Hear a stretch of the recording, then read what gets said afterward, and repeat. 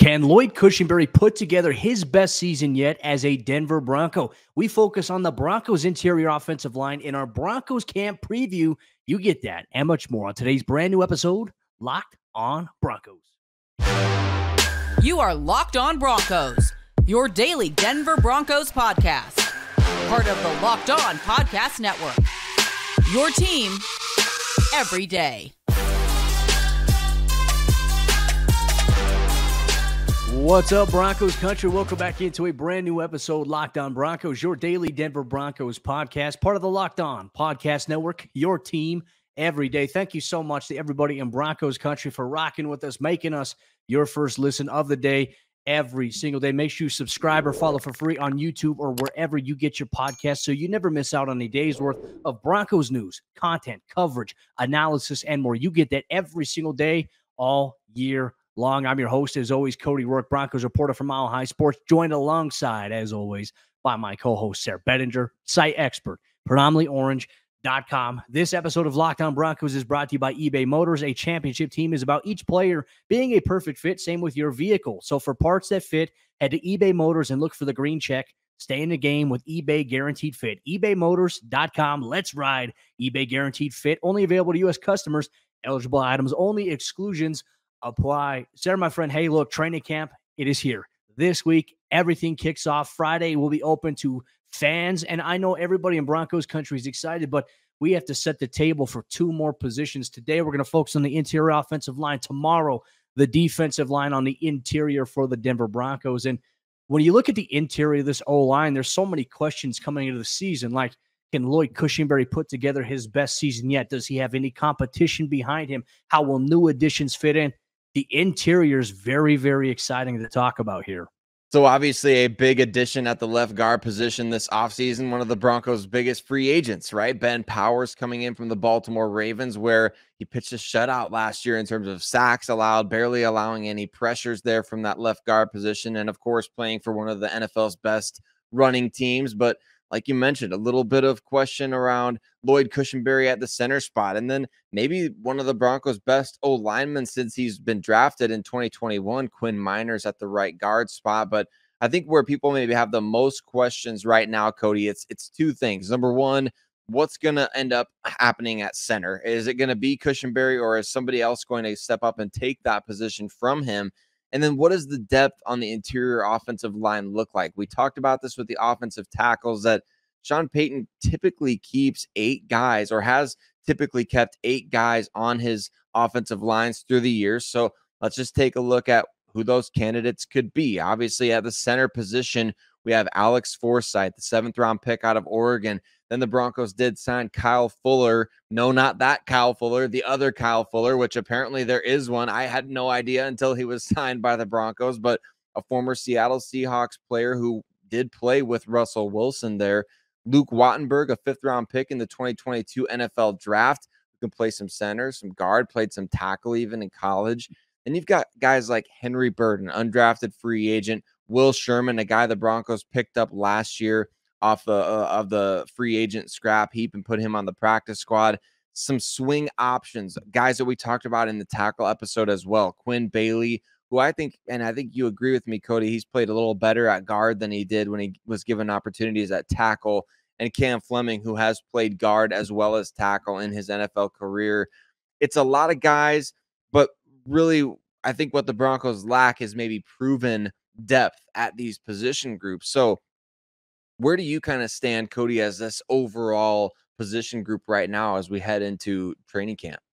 Yeah, that's a great question. And and look, you make some very good points. You know, Denver has numbers at these positions, but like other positions that we've talked about, like edge rusher, even some young guys at corner, they have some unproven guys, guys with not a lot of sample size in regular season games. And I, I think these are some things to monitor here if Sean Payton is in fact going to look at keeping eight offensive linemen, we already know the five that are going to be there for the Broncos on the starting offensive line. So, what are the traits and characteristics that these guys need to have to be able to make those final three spots in terms of depth? And look, I think you nailed it here. I think it's those swing options that give you the best value because if you have a guy who can play guard and can play tackle, or if you have a guy that can play guard and center, I mean, Sayre, those are two roster spots that you can get to essentially equate to two other positions or maybe even four in terms of depth? Can this can these swing options can they play right side? Can they play left side? And if they can do that, they have a clear advantage. Not to mention you can add some of these players to the practice squad, you know, keeping an eye on Princeton, Henry, Byrd. I mean, obviously being one of those guys here for the Broncos you know, those Princeton guys are very, very smart. They understand, you know, everything it takes to get into obviously a big school like that to be able to play at an Ivy League school is huge. So how can that translate into the NFL? Practice squad, I think, is a great place unless there's a guy who just comes out and makes some noise. But I think we always talk about it, Sayre. What is the most valuable thing you can have in the National Football League today from an offensive line standpoint? positional versatility, someone who can play this or can play that. Think about last year, for example, some clear instances when there was an injury, when Quinn Meinerz got banged up, or you know Lloyd Cushenberry got banged up. We saw Graham Glasgow play some guard. We saw him play some center last year. We saw Cam Fleming at one point even played some guard a little bit when the Broncos had an injury to the tackle position. I think it was they had him at guard in one one situation, Billy Turner at tackle, and Calvin Anderson at left tackle in place of Garrett Bolles you need guys that could do a little bit of both. And I think for a guy like Sean Payton, who emerges, who separates themselves in this category, to me, I can't wait to break that down.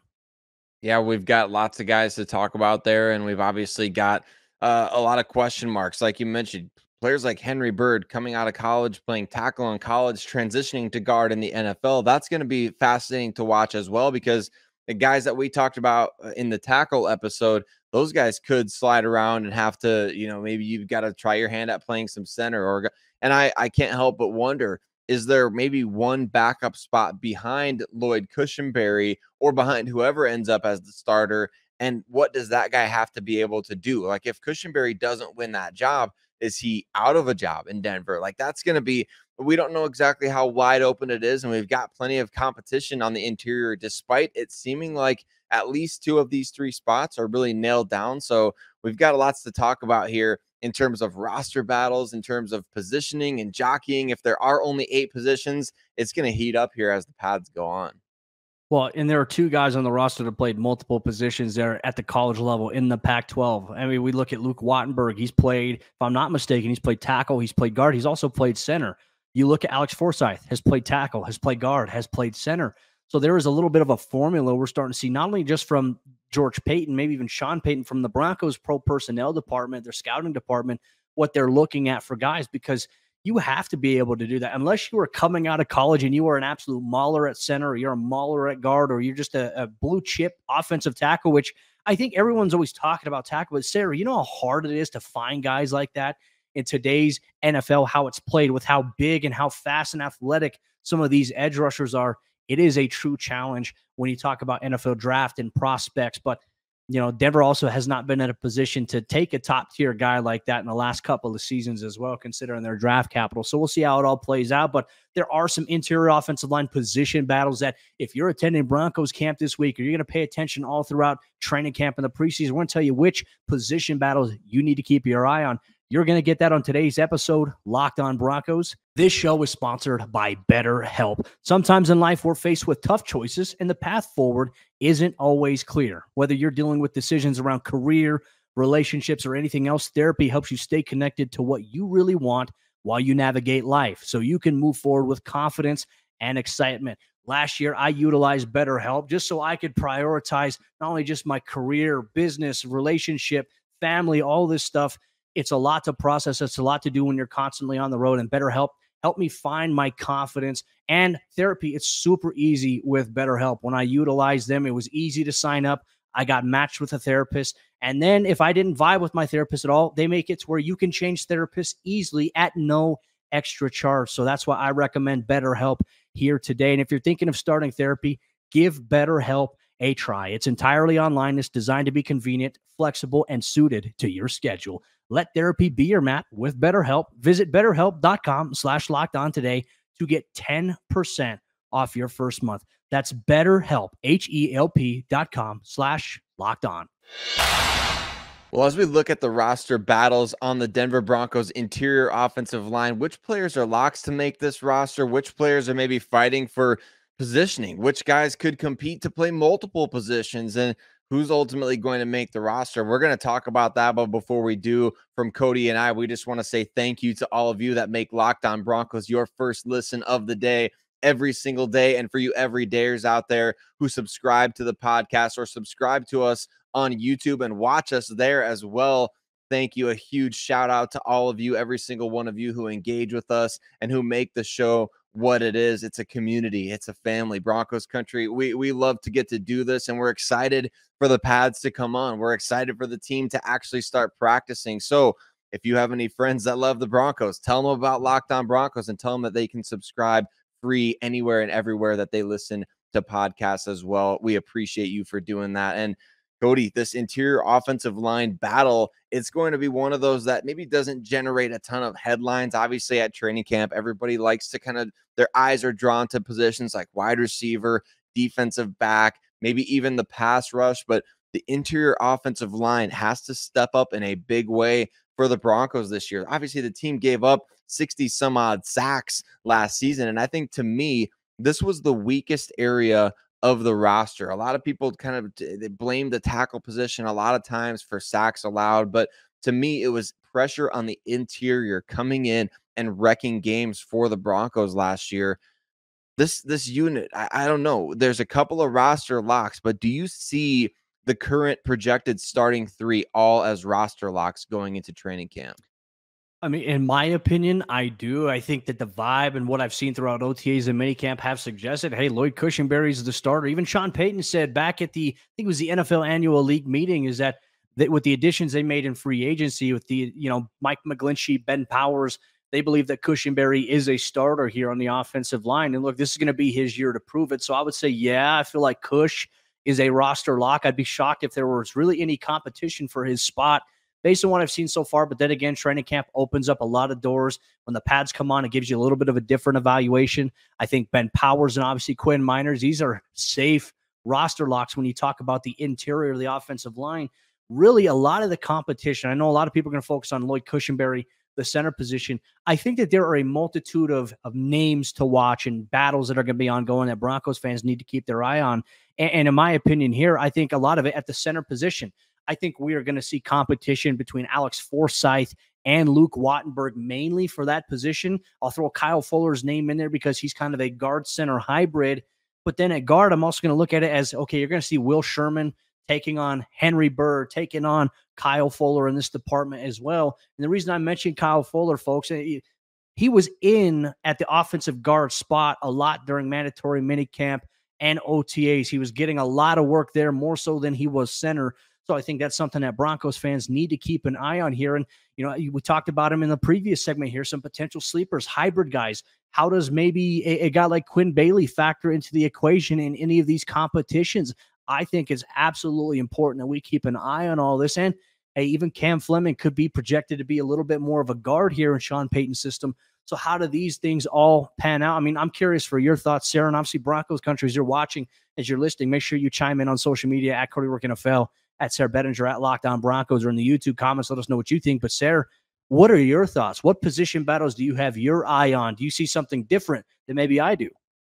I'm going to be fascinated to see if anybody else rotates in as the starting center, right? I think there's some fans out there that believe Alex Forsyth can win that job as a seventh round pick. And hey, I mean, I guess anything is possible at this stage until we see definitively. But I, I, agree with you, Cody. I think that is Lloyd Cushenberry's job. I do view him as a lock at this point, unless the Broncos go out there and make some, you know, Ben Jones type of move, or if they trade for a center or something like that, which all options I think remain on the table as of the time that we're recording this. So I'm not writing anything off, but I do think if if everything stays the way that it is, the roster that that is, I don't think Lloyd Cushenberry's job is going to be threatened by Alex Forsyth, barring injury. So we'll kind of see what happens there. I can't help but wonder are, are Kyle Fuller and Alex Forsyth fighting for one job, right? That, that's what I'm wondering there because I hope my hope is eh, that you can keep it as homegrown as possible. And of course, you want all the best players, but as somebody that really loves the team building aspect of, of football, whether it's the Broncos or anyone else, but especially the Broncos. You want to see the guys that you draft develop in your system and you want to see them become assets, whether it is as a starter or as a backup or somebody who rotates, maybe somebody that can come in as a sixth offensive lineman at times, right? So you want to see guys like Alex Forsyth and Luke Wattenberg turn out to be something, but you also wouldn't mind if somebody that another team drafted, like Will Sherman, could he come in and develop under Zach Strief and in Sean Payton's offense? Like that is almost just as good. It's kind of like the difference between a uh, Matt Paradis kind of story and a Brandon Marshall kind of story, where yeah, the Broncos didn't draft Brandon Marshall, but he really developed in their defense, in their system. Can you get guys like that on the offensive line? That's what we're looking for at this time of year. Just positive development one way or another. You the last thing that I want and I think that anyone wants is to say at the end of the day, whether you got eight, nine, ten offensive linemen, that you feel stuck with any one of those guys, or that you just feel like we had to keep them because we need bodies. You want to you want this decision to be a really, really hard one. I agree with you. And look, I also keep going back uh, when we do these position previews for training camp and looking at maybe how it impacts the preseason. I can't help but go back to Sean Payton's comments that he has made about it doesn't matter where you're selected, whether you're undrafted, whether you are drafted, that though there's been times where they drafted a guy and they cut him in that same exact preseason or training camp just simply because it didn't translate. It wasn't going well, and somebody else was playing better. Like this, I think, is maybe some of the pressure that Alex Forsyth will be facing here as we approach Broncos camp. Is can he hold off some of these other guys that are competing for that spot? You know, even though he was drafted, we now know in today's NFL. I mean, heck, last year look at, I mean, the Broncos have had guys that they've drafted around seven that they have gotten rid of, that they have cut and moved on from. I mean, even Faion Hicks was a guy who they drafted around seven last year. They cut him. They obviously brought him back to the practice squad. He's also on the training camp roster this year. But it just goes to show that, hey, if it's not working out, they need their best players when they construct that 53 man roster because the rules are a little bit different. I also think this bodes well to the benefit of player evaluation is that Denver, they can still cut guys after, you know, week to week, but really you don't have to cut from 90 to 53 until after that third and final preseason game. So do the Broncos take advantage of that? To me, is another question mark that I have as we get ready to analyze the preseason, which just in a couple weeks, Sayre, things are going to be active here as the Broncos have the first preseason game against the Arizona Cardinals. And one thing is for certain, every practice that the Broncos have, you can get recap and reaction afterward here on the Locked On Broncos YouTube page and also wherever you get your podcasts. We'll have you covered every step of the way here, Broncos country. But let us know some position battles you're identifying on the interior offensive line. Do you believe Lloyd Cushenberry is safe? He's a roster lock, or do you think that there is legitimate competition to push him for his job? We're always eager for your thoughts, Broncos country. But our conversation will continue on today's episode of the show as we take a look and we're going to give our projections who we think will make up the Broncos interior offensive line at center and at guard going into the regular season. We'll share our thoughts with you and everybody else in Broncos country on today's episode of the show. This episode of Locked On Broncos. Real quick, let me tell you about the Locked On NFL podcast. You can get the biggest stories from the local experts all around the NFL. Training camp for some other teams has already started. Some teams got an early jump, like the New York Jets, the Kansas City Chiefs. They've gotten a roll on things. What are going? What's going on? What are some of the biggest headlines around there, including Chris Jones not reporting for training camp for the Chiefs. Well, if you're a big NFL guy like many of us here, check out the Locked On NFL podcast for your second listen of the day, free and available everywhere you get your podcasts or on YouTube. As we get ready to project the Broncos' interior offensive line ahead of this upcoming season, we're just grateful for you and everybody in Broncos country for tuning in, making us your first listen of the day every single day. Just a friendly reminder we'll have you covered every single day of training camp. Anytime that there's a preseason game, every single day, all year long. Locked On Broncos should be your go to for all your Broncos news, content, coverage, and more. Thank you so much, Broncos country. Sayre, I'm going to leave the floor to you, my friend, as we open things up here, projecting the interior of the offensive line. When you take a look at the guard position, when you take a look at center, including starters, including depth, how do you see it playing out? How many guys you think they're going to keep, and who are those guys that you have your eye on that you think are going to make it to the 53 man roster? Well, we did our tackle episode. I projected three tackles, right? I projected Bolles, McGlinchey, and Cam Fleming. And with Cam Fleming's flexibility to play on the interior, I'm going to be keeping obviously five interior linemen. I'm going to try to stick with what Sean Payton has typically done. So that'll that'll give us eight interior or eight offensive linemen overall, five interior, three tackles. I'm obviously going to go Ben Powers, Quinn Meinerz at the guard positions, Lloyd Cushenberry at center.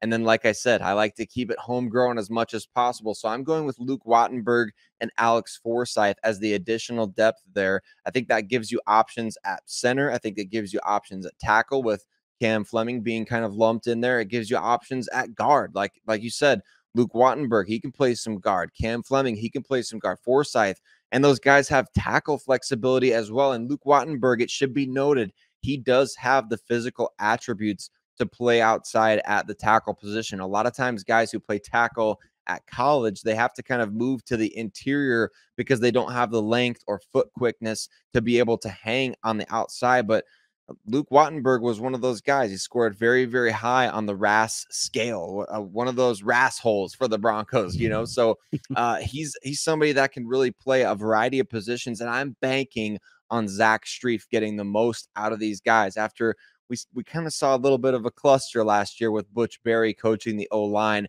I kind of feel better about the group that's in charge going forward. I'm very curious to see how it all plays out. I think coaching will be better on the offensive line, but if I had to go through my roster projection here, we talked about the overarching theme of how they have to be better on the interior because that was where a lot of things kind of came through negatively for them last season. And I think Lloyd Cushenberry having two really good guards, having consistency at the guard position, I think certainly will help him because you can maybe make the argument a lot of the struggles the Broncos have had have been miscommunication errors between the left guard and the center or the right guard and the center. And it just makes everything look bad across the entire operation. So for Zach Strief coming in, it's getting these guys all on the same page. And for Sean Payton, making sure that they can execute properly on the offensive side of the ball. And, and look, it's going to be a climb. It's going to take time. And I think that once training camp comes out and fans are in attendance, it's going to be a work in progress. It's not going to look perfect right away. And I think we absolutely have to highlight that here on the show. There might be days where the defense comes out and looks like they're dominating. There could be another day where the offense comes out and rebounds. You can't read too much into what happens in these training camp practices unless there's something major and drastic like an injury. Aside from that, these guys are going to be thrown on the pads for the first time since playing last year. There's an acclimation period that takes time there. So, with that said, Lloyd Cushenberry at center alongside Alex Forsyth is my projection. So two guys at the center position. At guard, I'm going to go with Quinn Meinerz, Ben Powers, and Kyle Fuller because of his ability to play guard and being able to play center as well. And then you factor in mentioning even the offensive tackle position. Cam Fleming is going to be one of those other guys that has the ability to play tackle guard. So Denver has positional flex versatility all across the entire board. To me, I think that will make a very good nucleus that you can try to build with Granted, there's not a lot of experience in, in terms of some of these guys like Kyle Fuller doesn't have a lot of NFL regular season experience, but I'm curious to see how everything goes when you're actually playing against another team. You, you know, your first two games are going to be on the road. You're going to have joint training camp practices in Denver against the Rams before taking them on, and then everything gets real. And then really a lot of it, if these guys that we're talking about here that we project to make the active roster continue to stand out, then I think the next thing that we're going to focus on is who are the guys that are ideal practice squad candidates on the offensive line, whether interior, whether you know on the outside. To me, that's another thing to watch. But that's kind of my projection here for how the offensive line on the interior is going to look for me. Yeah. So now the question th- that I would say build off that is really do the Broncos look to add anybody? Uh, teams aren't really looking to get rid of good offensive linemen. Let's just put it that way. But I think Sean Payton is one of those guys that we can bank on him being pretty active and I think if the Broncos are convicted about somebody that they see, the pro scouting department's like, hey, let's let's take a look at maybe you know swinging a draft pick for this guy, or maybe you know asking about the availability of this guy. I think he will be aggressive in that regard. That was one thing that in New Orleans he was willing to do that quite often.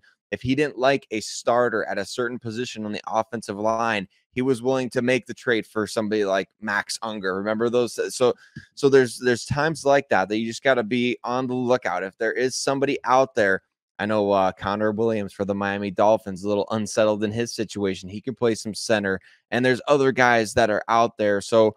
I'm just going to be fascinated to see is the offensive line that we see today, the, the top eight guys that we project, even if there's a you know a Luke Wattenberg versus Kyle Fuller type of situation, is there an opening for Sean Payton and George Paton, the general manager, to go out there and try to upgrade via trade one of these positions, that is always a possibility, especially if the price is right. And, you know, that's just kind of these guys' MO. Sean Payton and George Paton, they love to make trades throughout their history. They've done it a, a lot. And so I think that's something that we need to be watching for at this particular position group. And I even think after the first preseason game or going into the second one, we could see some action. I mean, we saw it with George Paton and Trinity Benson, who was the preseason darling, and then they trade him for draft capital. I remember when everything like that panned out. You and I were sitting here talking about like, yeah, well, you know, what what's the plan there? Considering where Denver is at from a capital standpoint, we know George Paton likes to add it. We know Sean Payton likes to have draft picks as well, but he also likes to trade them. So it's more ammunition to be able to maneuver some trades if they were to do that going into next season. There's so many things in play here for the Broncos, but one thing is for certain Broncos country camp will officially kick off on Friday at the Centura Health Training Center, 10 o'clock a.m. Just a reminder if you have your tickets through Ticketmaster and you can't make it, they have ways where you can return your ticket. And that way it opens up opportunities for fans who can't who, who want to attend. If you can't make it, that way they can grab a ticket and attend. Make sure you check that out. But there'll be 3,000 of you in attendance. And if you're available before practice even begins, shoot me a, a message or a mention on Twitter at Cody Roark NFL or on threads. I'm on threads. Uh, Sayre, we got to get him on the train as well. We know Twitter is rebranding here very, very soon. We'll see what that looks like.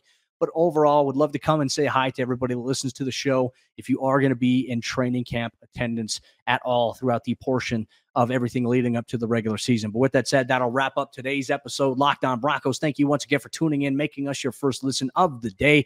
Shout out to all the everydayers. And for all you everydayers, tomorrow's episode of Locked On Broncos will be our final training camp position preview as we focus on the interior defensive line. We have a new update on Mike Purcell in terms of where he's going to be starting things off in training camp on the non football injury list. How does that impact the defensive line, the optics of that? Well, we'll dive deep into that in tomorrow's brand new episode, Locked on Broncos.